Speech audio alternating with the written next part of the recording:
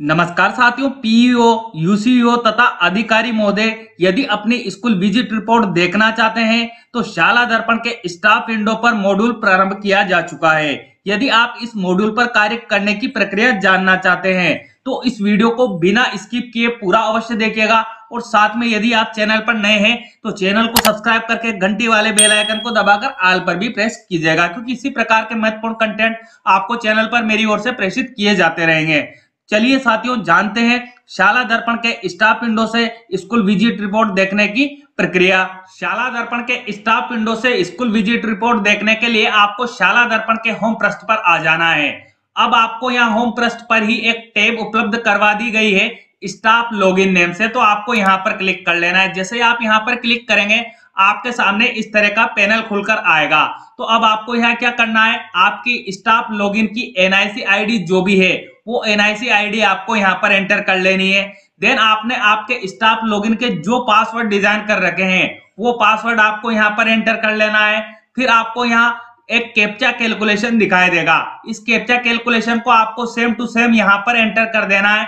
Then आपको सबसे अंत में ऑप्शन मिलेगा लॉगिन का। तो आप यहाँ लॉगिन पर क्लिक कर लीजिएगा।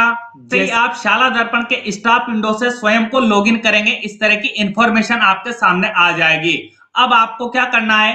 स्कूल विज़िट रिपोर्ट को चेक करना है। तो उसके लिए आपको यहाँ बहुत सारे ऑप्शन दिए हुए हैं। तो इन ऑप्शन को आपको स्क्रॉल अप कर देना है। जैसे आप ऑप्शन को स्क्रॉल अप करेंगे, आपको यहाँ एक टेप देखने को मिलेगी संबलन नेम से। तो आपको इस टैब पर क्लिक कर लेना है। जैसे आप यहाँ पर क्लिक करेंगे, आपके सामने नया ऑप्शन ओपन होकर आ जाएगा। संबलन विज़िट व्यू रिपोर्ट नेम से तो आपको इस पर क्लिक कर लेना है। जैसे आप यहाँ पर क्लिक करेंगे, अब आपके सामने इस तरह की इंफॉर्मेशन आएगी तो सबसे पहले आपको यहाँ ईयर सेलेक्ट करने के लिए कहा जाएगा।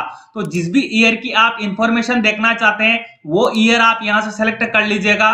देन आपको यहाँ मंथ सेलेक्ट करने के लिए कहा जाएगा। तो आप यहाँ पर क्लिक कीजिएगा मंथ की इंफॉर्मेशन आपके सामने आ जाएगी। अब जिस भी मंथ की आप विज़िट रिपोर्ट देखना चाहते हैं उस मंथ को आप यहाँ से सेलेक्ट कर लीजिएगा।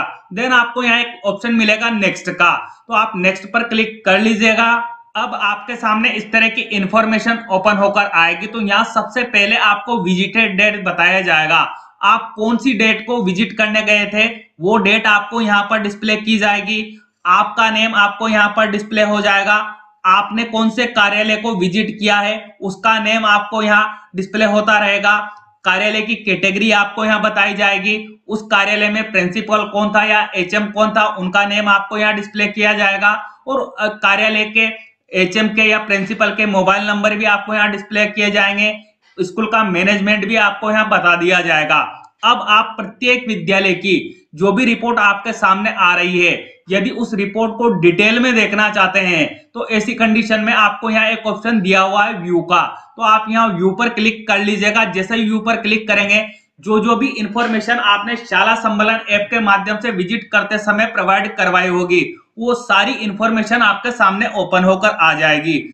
उम्मीद करता हूँ साथियों, जानकारी आपके लिए उपयोगी रहेगी। और यदि जानकारी आपके लिए उपयोगी रहे तो प्लीज़ इस वीडियो को लाइक अवश्य कीजिएगा और हाँ साथियों, इस वीडियो को हमारे प्रत्येक साथी तक पहुँचाने का कष्ट कीजिएगा ताकि उनको भी जो इस वीडियो का लाभ है, वो मिल सके। और यदि आपको कोई मुझसे तकनीकी सहायता चाहिए तो प्लीज़ कमेंट बॉक्स में कमेंट करके बताइएगा। मैं निश्चित ही आपके कमेंट का जवाब देने का प्रयास करूँगा। मिलते हैं साथियों, इसी तरह के इंपॉर्टेंट टॉपिक के साथ। तब तक के लिए जय हिंद, जय भारत।